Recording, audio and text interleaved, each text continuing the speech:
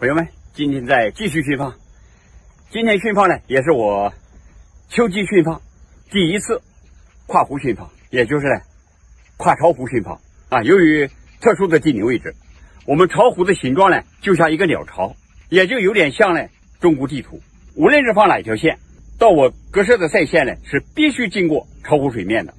放西线就经过了很多很多，放北线，那么就。差不多巢湖的湖面宽度是二十公里。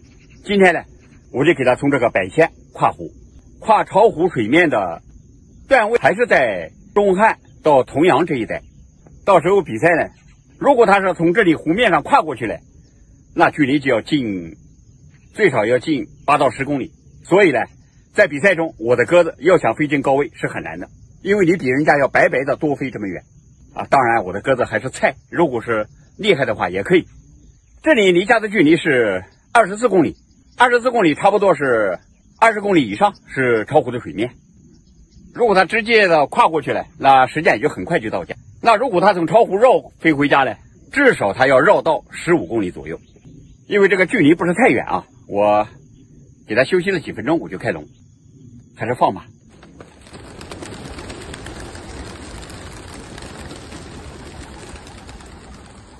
啊，飞到那个前面去了。哦，在那里还得绕一圈。好，在那里盘旋了一圈。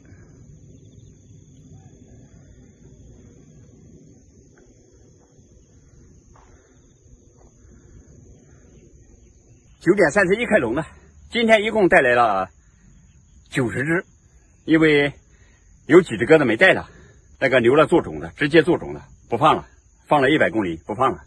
刚才呢吓了我一跳。先是一直飞前面去了，我以为定向准确，结果在前面转了一个大圈，转回来了，飞好高好高的啊！后来转了一个大圈，直接朝家的方向飞走了。这么一点远，如果是丢掉了，就是菜货，是不是？即使他不敢从巢湖水面上过，那么他从巢湖城区绕道，我想他们也能够回家。还是忍不住把车停在这里看了一下。九点五十九分，有三只鸽子率先归巢。啊，就三只。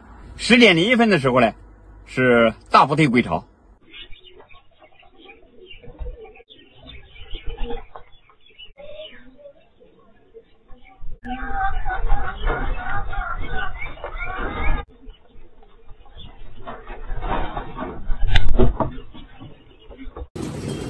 究竟他们是不是跨湖过来的，也还搞不清楚啊。